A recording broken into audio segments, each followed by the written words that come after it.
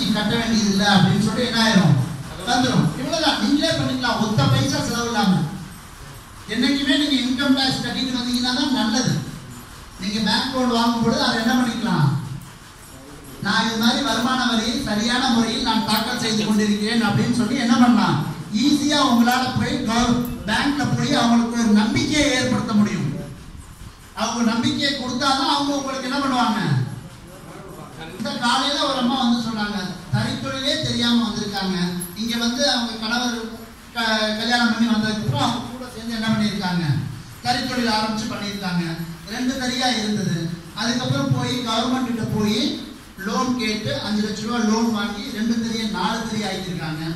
அந்த அஞ்சு லட்ச ரூபா லோனை சரியான முறையில் அவங்க கட்டிட்டு வந்திருக்காங்க. ஸோ அதனால மறுபடியும் அவங்கள பேங்கே கூப்பிட்டு இன்னும் கொஞ்சம் லோன் வாங்கிக்கன்னு சொல்லி இப்போ வெளியே வந்து அவங்க பத்து தறி கொடுத்து இது கடந்த அஞ்சு வருஷத்துல அவங்க பண்ணியிருக்காங்க. அவங்களே நேரடியா இங்க வந்து சொல்லிட்டு போறாங்க. நம்ம ட்ரைனிங் ப்ரோக்ராம் கலந்துருக்கு கைதட்டலாம் நல்ல விஷயம். உங்க கூட உங்க தொழில உங்க சூழ்நிலையில. வேற நான் சொல்லலாம் நீங்க சொன்ன சேலத்துல பண்றாங்க சார் அப்படின்னு சொன்னா நீங்க என்ன பண்ணலாம்? சார் அங்க வேற சார். உங்க சூழல்ல உங்க ரகத்தை ஓட்டிக்கிட்டு உங்க ஏரியால இருக்க ஒரு பொண்ணு அழகா வந்து லோன் வாங்கி அடுத்தடுத்த கட்டத்துக்கு இப்ப போயிருக்காங்க. இப்ப பத்து தறி போட்டிருக்காங்க. அடுத்து என்ன பண்ண முடியும் அவங்களால?